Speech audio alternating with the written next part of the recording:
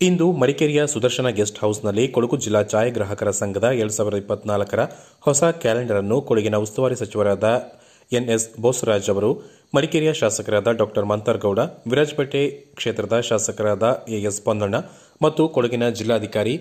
ವೆಂಕಟರಾಜ, ಕೊಡಗಿನ ಎಸ್ಪಿ ರಾಮರಾಜನ್ ಅವರು, ಕೊಡಗಿನ ಎಸಿ ವಿಕಾಸ್ ತಮ್ಮ ಅಮೃತ ಹಸ್ತದಿಂದ ಉದ್ಘಾಟಿಸಿದರು. ಈ ಸಂದರ್ಭ ಕೊಡಗು ಜಿಲ್ಲಾ ಛಾಯಾಗ್ರಾಹಕರ ಸಂಘದ ಅಧ್ಯಕ್ಷರಾದ ಎಸ್ಆರ್ ವಸಂತ್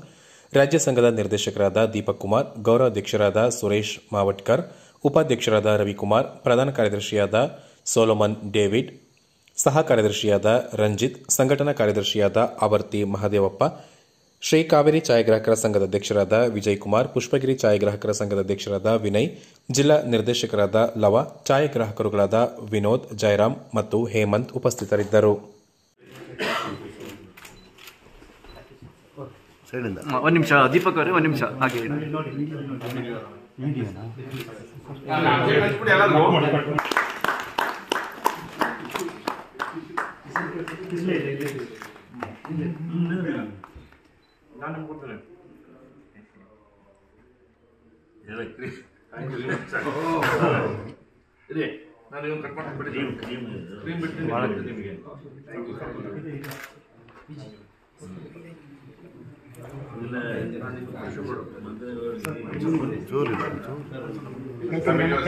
ಅಯ್ಯೋ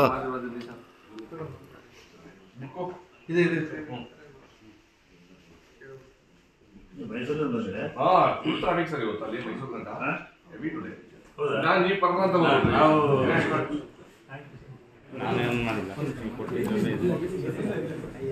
ಕಟ್ ಮಾಡ್ಕೊಡಿ ಎಲ್ಲ ಅದು ಸಾವಿರದ ಇಪ್ಪತ್ನಾಲ್ಕು ಹೊಸ ವರ್ಷದ ಎಲ್ರಿಗೂ ಆರ್ಥಿಕ ಶುಭಾಶಯಗಳು. ಇವತ್ತು ಕೊಡಗು ಜಿಲ್ಲಾ ಛಾಯಾಚಿತ್ರ ಗ್ರಾಹಕರ ಕ್ಷೇಮ ಸಂಘದ ಎರಡನೇ ಸಂಚಿಕೆಯಾದ ಕ್ಯಾಲೆಂಡರ್ ಬಿಡುಗಡೆಯನ್ನ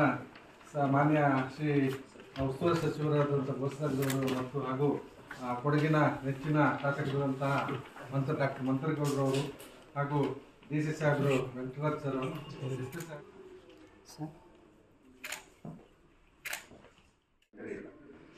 ಸಾಹೇಬ್ ಇನ್ನು ಹಿಂದೆ